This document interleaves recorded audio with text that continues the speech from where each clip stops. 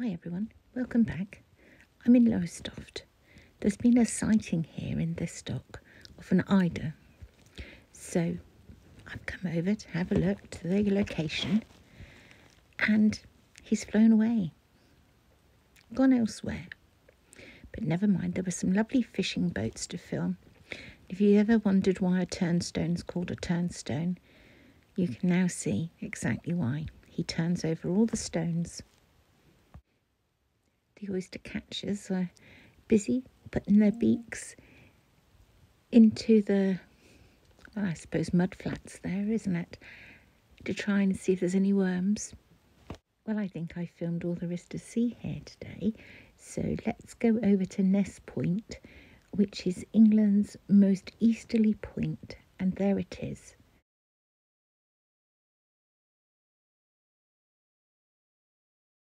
When I'm on Gorleston Pier, I always film this wind turbine, so it's nice to be stood right beside it.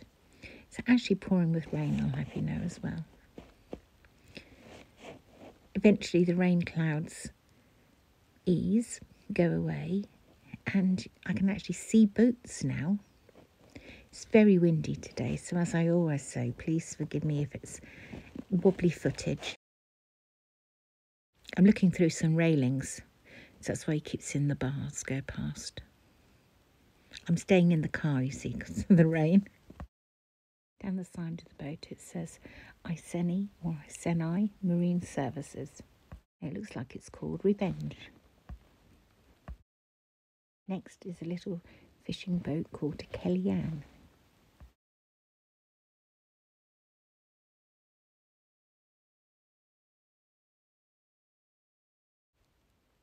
Think it's so much nicer being in the warmth of the car. I don't think I'd fare very well on that little boat going across those waves.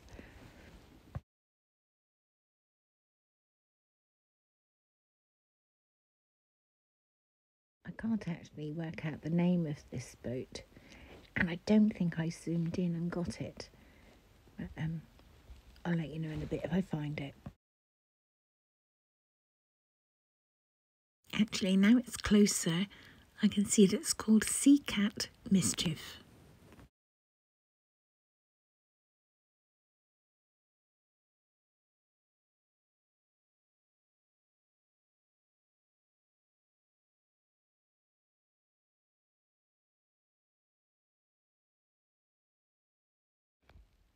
Look at the size of this one.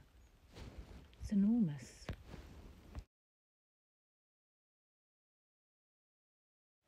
A large fishing trawler. I couldn't see any of these earlier when it was raining.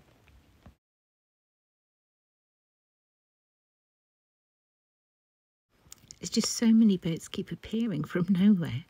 It's far busier here than Great Yarmouth.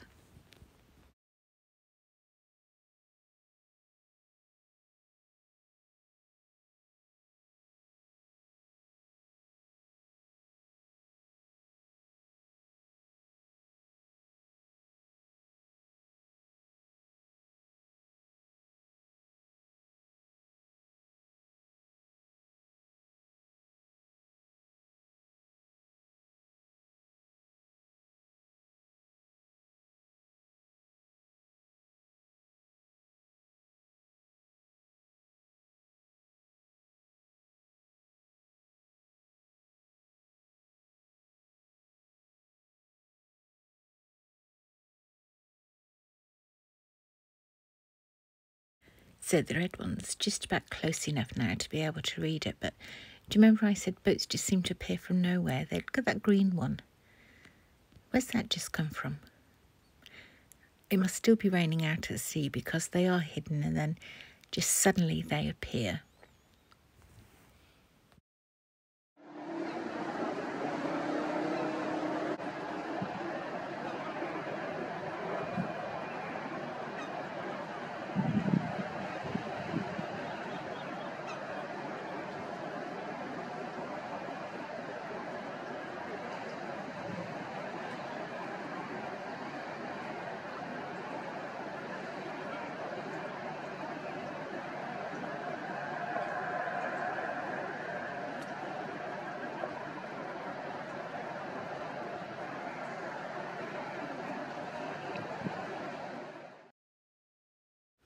Well, I think this has been a lucky find today for me, discovering that the boats come in as close as they do.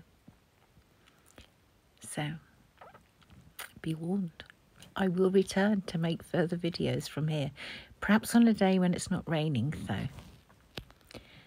But after this green one, I need to think about going home.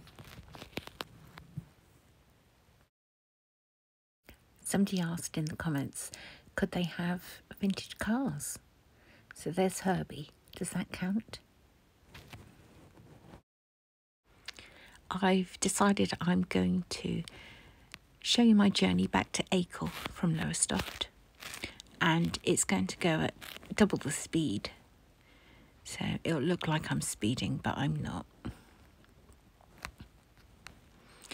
I spotted a couple of interesting things on the way home so when I get to those I'll slow the footage down so that you can see exactly what it was I saw.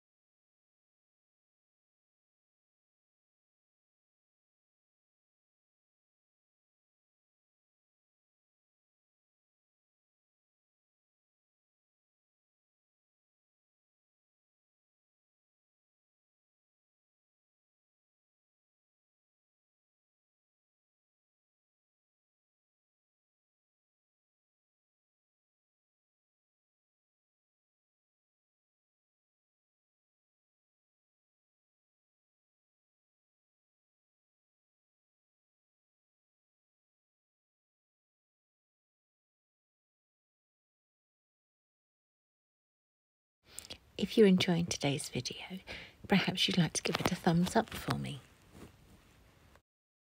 I told you in my last video that I'd had several new subscribers. Well, I, I have again since that video. I've had about another 10, I think it is. So, hello to all of you. Thank you for subscribing to my channel.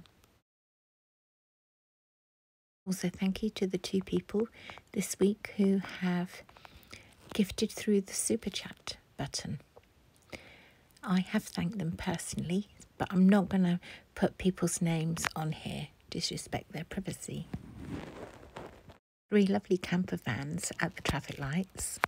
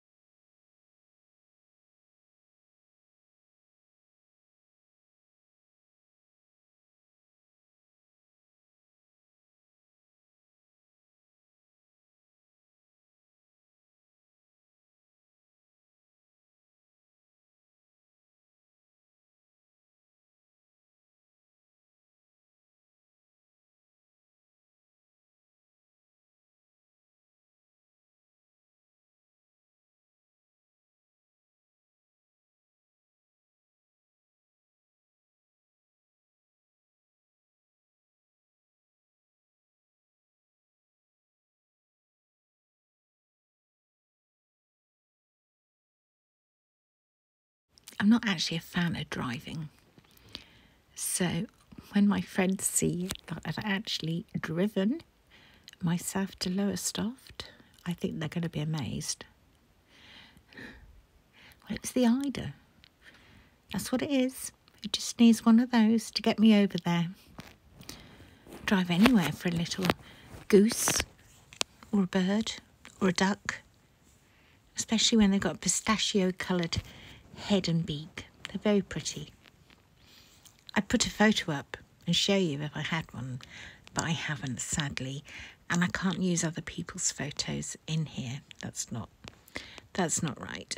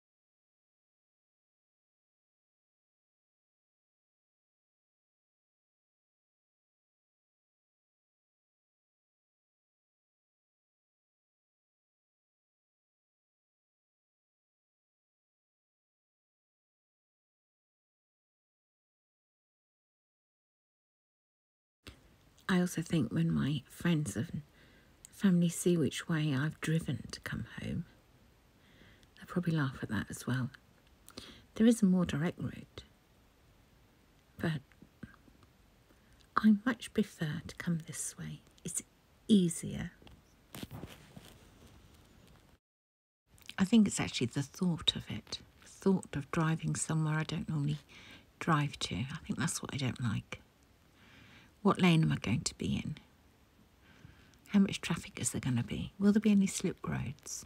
I don't mind if there's lots of traffic because you go slowly then and you can look around, you can see where you're meant to be.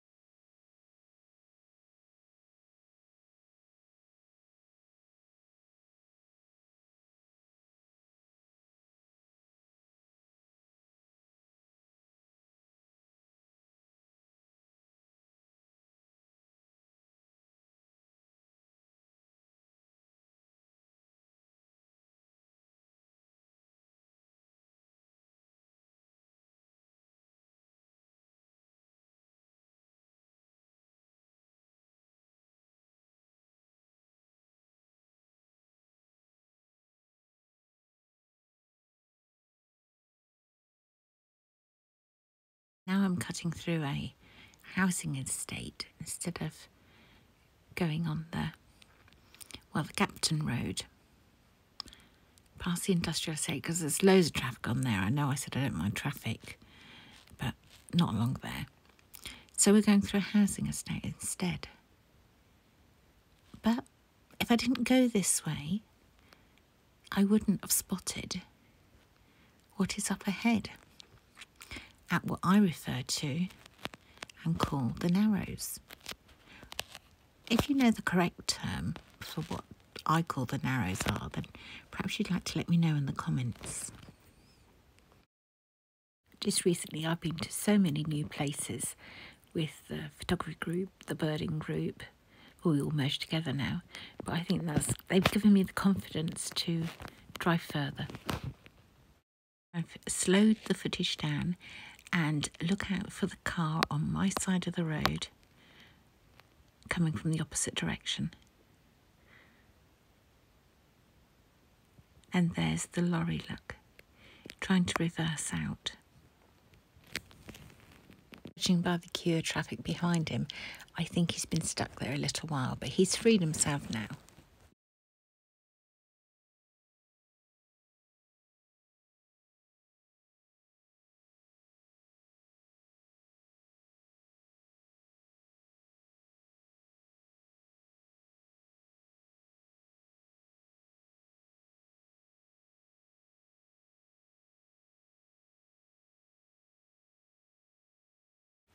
Now, the traffic from here right down to the roundabout takes forever to get down there, so I'm just going to cut it out totally, okay? So that was so much easier for you not having to wait. I wish it was like that in reality for me.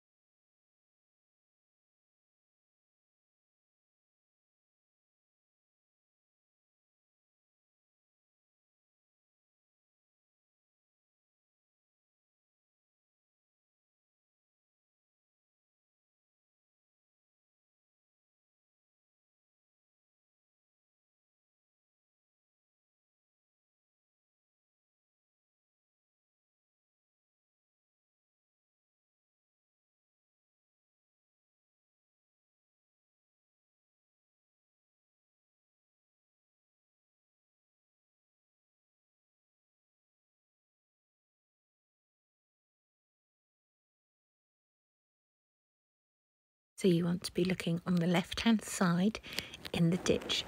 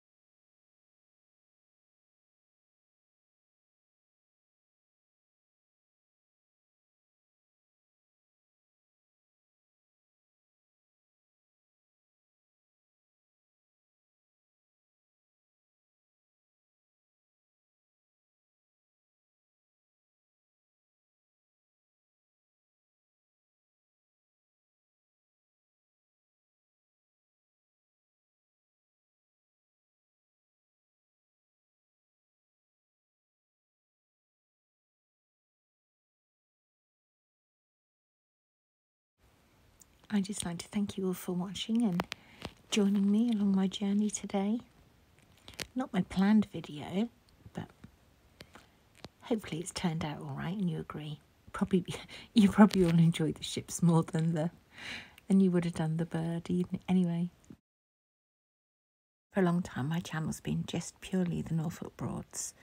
All different aspects of everything you can find on the Norfolk Broads, but as I've now got to the stage that I've probably just about filmed everything there is to film of interest. That I'm now filming more and more further afield and including, well, probably in time, at least now I can include, include most of Norfolk. And of course, I've gone into Suffolk as well. I'm simply trying to show you places that you might not know exist.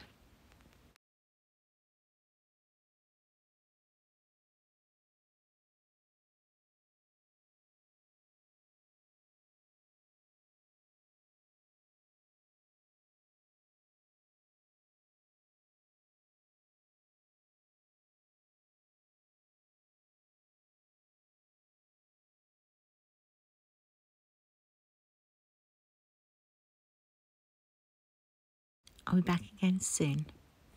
Bye for now.